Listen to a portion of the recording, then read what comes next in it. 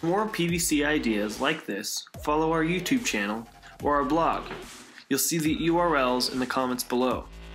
If you would like to purchase some of our products, go to our website at www.circoinnovations.com. Thank you for watching.